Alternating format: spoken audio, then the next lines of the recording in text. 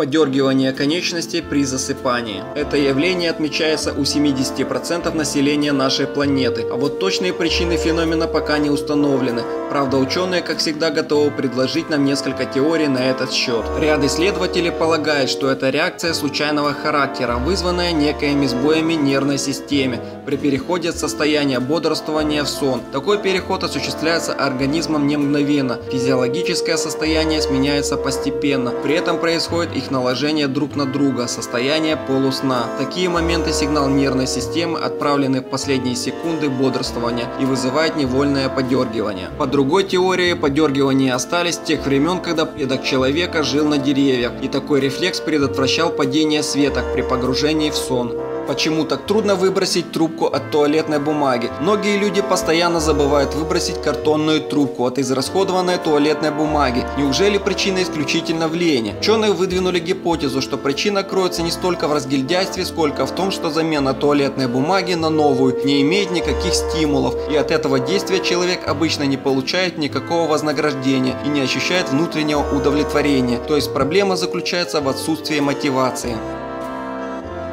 Неуместный смех. Нередко желание смеяться возникает в совершенно неподходящей ситуации, при печальных или торжественных обстоятельствах. На самом деле это не проявление бессердечия или неуважения. Просто организм человека посредством смеха пытается избавиться от напряжения и эмоционального давления. Очарование психопатами. Значительное число людей испытывает влечение к разным мрачным, жутким вещам и явлениям. В частности, психопаты разного рода, которые то и дело мелькают в различных телешоу, документальных и художественных фильмах, вызывают сильный интерес у населения. На сегодня существует несколько объяснений этого феномена. Первая теория предполагает, что история психок, не связанных моральными и общественными нормами поведения, позволяет человеку мысленно встать на его место, виртуально сбросить с себя груз обязательств, освободиться от ответственности. По второй теории причины кроются в животной сути человека. Психопаты являются своего своего рода хищниками. Их поведение напоминает нам о тех временах, когда каждый человек был охотником, и им руководили звериные инстинкты выживания, проявлять которые в цивилизованном обществе затруднительно. Чувство неловкости при молчании. Некоторые люди настолько не переносят тишину, что готовы заполнять разговорами каждую секунду времени. Да и большинство людей ощущает неловкость при затянувшейся паузе в беседе. Остановки в разговоре заставляют нас думать, что контакт не получается и что мы не представляем интереса для собеседника. Если же диалог протекает гладко, без пауз, то этим как бы подтверждается наш статус в социуме.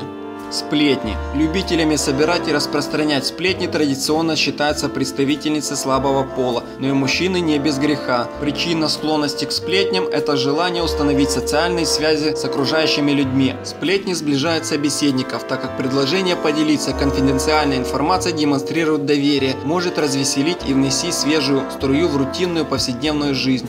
Любовь к грустным фильмам. Большинство людей считает, что и в реальной жизни хватает всякого рода неприятностей и проблем, но на этом фоне кажется странным, что эти люди обожают свободное время смотреть грустные мелодраматические фильмы. Причина в том, что чужие беды, которые человек видит на экране, заставляют больше ценить свое счастье и находить позитивные моменты в своем положении. Подписывайтесь на наш канал, не забывайте ставить лайки и оставляйте комментарии под видео.